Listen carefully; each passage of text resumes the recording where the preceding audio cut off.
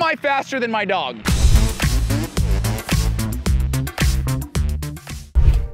All right, here's what you've all been waiting for, the head-to-head matchup. Maelu impatient in the blocks, and the gun goes off. She's off the line so well, no surprise. It's everything I can do to keep up, but she's already got a yard on me at the 10 yard line. And her lead only extends. I'm hoping that if I can sit on her, I can kick the last 10 yards. Maybe she gets tired. With 20 yards to go, I see her tying up a little bit. She looks over her shoulder and I snip her at the line. 11.662, a new family best. Yes! Milo, I love you. You're obviously beautiful, but I kicked your ass. You ran well. Congratulations on a good race.